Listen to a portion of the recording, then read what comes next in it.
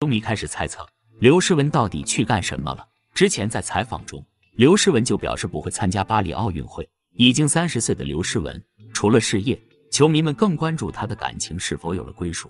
马龙参加在采访中意外说出，刘诗雯的意中人在国乒中，并且她的成绩非常好。虽然马龙没有说这个人是谁，但很多球迷都猜测这个人是张继科。曾经张继科的空间只能刘诗雯一个人看。这两位世界冠军之间的爱情故事长达七年，两人因为打乒乓球结缘，在一起很浪漫又温馨。熟悉他们的人都知道。张继科这个人比较内向，而刘诗雯活泼开朗。二零零四年，十三岁的刘诗雯第一次进入国家队，她第一个好朋友就是张继科。这两个人先后进入国家队，这种半公开的恋情让球迷们很期待。在国乒训练期间，张继科曾经因为违反规定被送回去省队训练。刘国梁在当时告诉张继科，有能耐再打回来。期间，张继科似乎丧失了斗志。还有网友说他曾经想去国外打球。期间，刘诗雯一直鼓励他。到了二零零六年，张继科重回国家队，两个人在训练完成之后会见面，成绩也越打越好。之后，两个人恋爱关系曝光，因为国乒和父母的压力，两个人结束了七年的感情。张继科和刘诗雯为什么分手，一直被球迷们讨论。因为国乒规定队员之间不能谈恋爱，两人的感情经历很困难。如果国乒放开规定，很容易引起不好的反应，影响比赛的发挥。张继科曾经也在采访中表示，谈恋爱太影响精力，还可能会影响心情，最终导致影响到比赛结果。或许是为了彼此的发展，两个人最终选择和平分手。分手后，张继科表示自己以后没有这么纯粹的感情了。刘诗雯说，如果遇不见喜欢的人，这辈子不结婚。之后，这两个人变成球迷心目中的意难平。分手之后，张继科淡出乒乓球比赛，开始走进娱乐圈。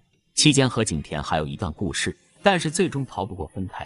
刘诗雯还在赛场上坚持。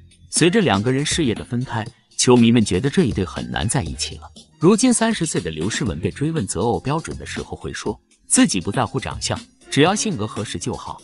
刘诗雯变了，十九岁的她对爱情充满憧憬。她在采访的时候表示，自己幻想将来举行海上婚礼。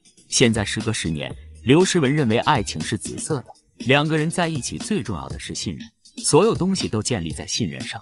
当球迷们期待十年之约的时候，刘诗雯的最新动态更值得注意。有消息说，刘国梁准备安排刘诗雯做教练。如果做不了孙颖莎的教练，可以去带年轻人。在两千零二十四巴黎奥运会的比赛安排中，刘诗雯现在已经三十岁了，应该是无缘女子单打。在这种情况下还没有退役，大概率是刘国梁有了全新的安排。如果刘诗雯转型做教练，以她的经验。相信表现的会很出色。除了事业上的安排，马龙在采访也表示，刘诗雯还有好消息。马龙说，刘诗雯的另一半应该是一个三十四岁的大帅哥，是个曾经为国家赢得无数荣誉的人。马龙和刘诗雯关系非常好，和亲兄妹一样，所以说这个消息可信度非常高。这个消息一出，矛头直指张继科。在二零一九年和景甜分手后，网上一直疯传当年那个深情凝视的眼神，还有网友说。张继科可能会在那时候回想和刘诗雯的那段故事。二零二零年以后，张继科开始转战娱乐圈。他曾经表示自己喜欢单眼皮的女生，这句话一出，网友泪奔。张继科一生桀骜不驯，却把温柔都给了她。他从来不喜欢什么短发单眼皮类型的女生，只不过喜欢一个叫刘诗雯的女孩。如今刘诗雯也保持单身，只可惜她头发变长，眼睛也变成了双眼皮。这对曾经的恋人还有属于他们的十年之约。现在两个人和好似乎也是可能的，这对曾经让粉丝直呼意难平的两人，不知道大家还会支持他们在一起？不管最终两人能否复合，都祝福他们生活越来越好。